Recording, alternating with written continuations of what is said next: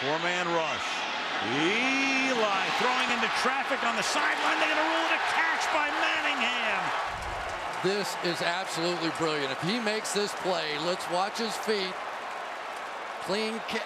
And remember, there is no force out. So you have to make the catch cleanly and get both feet down in bounds. Contact doesn't matter at all. Even if you're contacted out of bounds, it used to be that was a force out.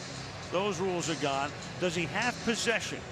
And does he keep both feet in bounds is I the question. Possession of the ball all the way to the ground as far as I saw it. There's possession. One foot down, two Right. feet down. Looks like he has it.